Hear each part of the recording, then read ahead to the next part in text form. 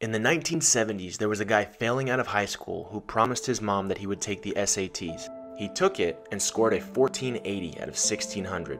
He scored so high, his mom and everyone around him thought that he cheated, even though he didn't. He has an epiphany, realizes he's smart, and just hasn't been applying himself. He starts going to class, stops hanging out with losers. He goes on to go to college, graduate, and start his own business. He eventually becomes a multi millionaire entrepreneur. Ten years later, he gets a letter in the mail. He was one of 13 people sent the wrong SAT score. He actually scored a 740, and they had accidentally doubled his score. The doubled SAT score had made him believe in his core that he was intelligent, and that changed his identity forever. Every person on earth has an identity, whether they're aware of it or not. And one of our strongest human needs is the need to stay consistent with our identity. The only problem is most of our identities are negative. Charles Oliveira was no exception. During his first seven years in the UFC, he went 8 and 8 and was finished in seven of those eight losses. However, his subsequent losses to Max Holloway and Paul Felder caused him to hit rock bottom. Against Max Holloway, he suffered a freak injury that was reported as a minor tear in his esophagus, despite it being a serious freak injury that almost left him paralyzed for life. Perdi o movimento do lado esquerdo inteiro do corpo. Quando eu fiquei internado, alguns repórter louco falou que era esôfago, outro falou que era não sei o que, ah. tal, tal, tal. Na realidade de tudo, irmão, eu não sei te confirmar o que que foi, The media took the minor tear story and ran with it, giving him the label of quitter. Then, in his next loss to Paul Felder, a few attempted submissions ended up putting him in a bad spot. Paul Felder rained down elbows and Oliveira tapped to strikes. These losses had the world label Oliveira a quitter. Perdi outra em seguida e aí começou, porra. Tipo, será que é isso mesmo? Tá ligado? Tipo, quando meu pai pedia dinheiro emprestado na época, as pessoas falavam assim: ah, eu vou ajudar, mas nunca vai chegar, é difícil, tá ligado? E aí, tipo, esses caras falavam pros meus pais, falei, tá vendo? Eu falei, quando chegasse na hora dos bons, e tipo, os que eu batia era tudo ruim. Quando chegar na época dos bons, ele ia perder, tá ligado? Não ia andar. E aí, tipo, você imagina, você nunca. The people that didn't know him thought he was a quitter, and the people that did know him thought he just wasn't good enough. It drilled one message into Oliveira's subconscious that he was a loser, and he adopted that identity subconsciously.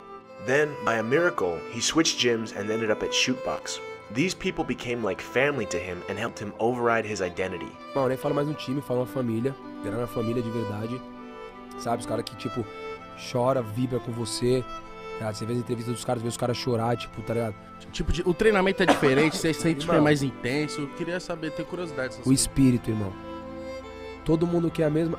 A gente, eu falo muito assim, irmão. Você quer voar, você tem que andar com a águia. Irmão que você vai andar com o Pardal? O Pardal vai andar aqui, a Águia vai andar lá em cima, você tem que andar com os monstros. Pra poder, ah. tipo, fazer com que você se torne campeão, porque você se tornando campeão, você vai abrir portas e eles vão chegar também, é o que a gente vem trabalhando gigante. At Shootbox, he's surrounded by people who actually believe in him and want him to succeed. Despite the entire world seeing him as a quitter, his new teammates told him he'd be champion and believed he had it in him. This constant positive reinforcement helped him start to chip away at his old identity. Cara, eu tô com as mesmas pessoas que me treinaram, aí você faz a volta. Uhum. Eu tô com as mesmas pessoas que me treinaram, que me ajudaram, que acreditaram em mim, sabe? Não os outros que ficam enchendo linguiça falando besteira por aí, não. In psychology, this is called the Pygmalion effect. We rise or fall according to the expectation of those around us.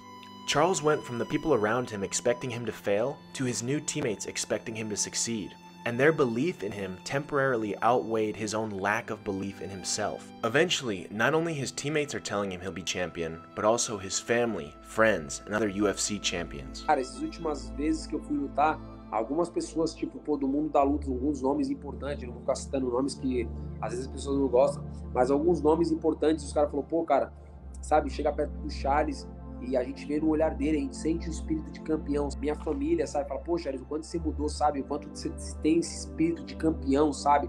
O quanto você quer, o quanto você tem essa gana de. But despite everyone around him telling him to be a champion, Charles was truly the last one to believe it because of how deeply the negative identity he had was embedded inside of him. It's because of something called the negativity bias. The negativity bias states that not only do negative events and experiences imprint more quickly, but they also linger longer than positive ones. Despite the whole world telling him he was great, he had years and years of negative conditioning that prevented him from believing it. It's not until he goes on a tear, finishing seven of his eight next opponents in a row, that he truly starts to believe it. But then everybody was calling him a quitter, all Yeah. this, and it's like, And he just turned a corner and then became the baddest motherfucker in the weight class. yeah. And not just the baddest motherfucker in the weight class, but one of the best motherfuckers in the sport. This is because he now has something called identity capital on his side. Every time Charles sees himself finishing a fight, he builds up a little more identity of a champion. It's not until he dominates Tony Ferguson that he truly owns it and steps into his identity of a champion. Keep in mind, this is before he actually had the belt. The inner world always precedes the outer world. Oliveira had to own his identity as a champion and truly discard his old identity as a quitter before he could receive the physical belt. Before fighting Michael Chandler for the lightweight title, he truly, truly feels like a world champion. Essa noite, é, é- é- ontem eu se tornei campeão. E aí, tipo, pô, via, eu treinei a semana toda, viajamos na sexta e eu cheguei em Las Vegas como campeão. Cheguei em Las Vegas como campeão, desci do, do avião como campeão, subi no carro como campeão, cheguei como campeão. Agora é só recuperar, porra. Vamos buscar aquilo que é nosso, né? Tô indo buscar nada que é de ninguém, tá escrito já. He realizes, looking back at his unbelievable run, that he is the best lightweight alive. He truly feels like the champion, which is why when he finally gets in the cage against Michael Chandler for the belt,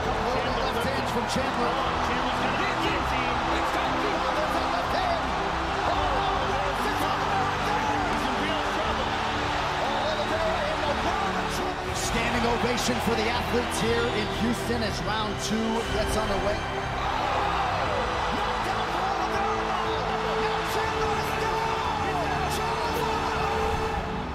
He finishes Michael Chandler and becomes the lightweight champ. It's also why, when they ask him about his quitting ways, he says, Because there's then this narrative about your career that if you get pushed, maybe you won't respond well. Michael even pointed it out beforehand, but you were you were pushed and you responded well. Do you do you, do you appreciate that? understand that that was the past. That was eight fight ago, fights ago. Now I come here to, to win. You know, I don't come here to play. And so don't don't think like that. That's the past. This is now. That's the past. I'm not even living that. I'm living the present. I'm living this moment now. He says that quitter is in the past because he no longer identifies with that person. His identity has shifted completely to champion. It's the same reason why in his next fight, when he misses weight against Justin Gaethje and is stripped of the belt, he says, I went into the octagon today to defend my title. We're gonna defend the title. Not, I'm not. I have to. I don't have to get it back. The name of the champion is Charles Oliveira. We all know that. And the identity and confidence are reinforced with each win. When asked about where his confidence comes from, he says, Sabe que eu tô vivo? As pessoas falam que eu não posso, eu mostro que eu posso. Uh, 10 straight wins. Mas quem quer ter uma visão diferente, você pega minhas últimas 10 lutas. As minhas últimas 10 lutas foi contra grandes 10 nomes. Foi contra dois grandes, grandes campeões, grandes, grandes caras. Charles is the last one to truly believe he is the best in the world, and only after he gets an irrefutable stack of evidence 10 dominant wins against the very best in the world. Charles Oliveira's key to success started with his new team. If he had never surrounded himself with people who truly wanted to see him win, you would have never heard of him, and he never would have rose above his self-limiting beliefs. When he didn't believe in himself, his team believed in him, and he rose to their level of belief. He then had to rewrite his identity. All of us have deeply embedded identities, things we subconsciously believe about ourselves. Your life will never outgrow your subconscious beliefs. The outside world is simply responding to your deeply held beliefs about yourself. For Charles, his team believed in him enough to temporarily carry him through his own doubt. Then, after seeing himself dominate the best in the world over and over, he slowly started to believe in himself. After his team believed in him, his friends believed in him, and legendary fighters in the UFC believed in him, only after one of the greatest win streaks in UFC history did he finally start to believe in himself, and the outer world simply responded accordingly. Charles's mentality switched to becoming unbelievably confident due to his irrefutable stack of evidence. Having accomplishments worth being proud of leads to more confidence than anything else in the world. In short, competence equals confidence. But for Charles and for all of us, it all starts with the inner circle. According to Harvard social psychologist David McClelland, the people you associate with determine 95% of your success or failure in life. You rise or fall according to what the people around you believe about you, which will eventually become your belief about yourself. Your belief becomes your identity, and your identity becomes your reality. Hey, if you like this video and want to learn more about how to change your identity, check out this video here on Conor McGregor. I appreciate you and I will see you in the next one.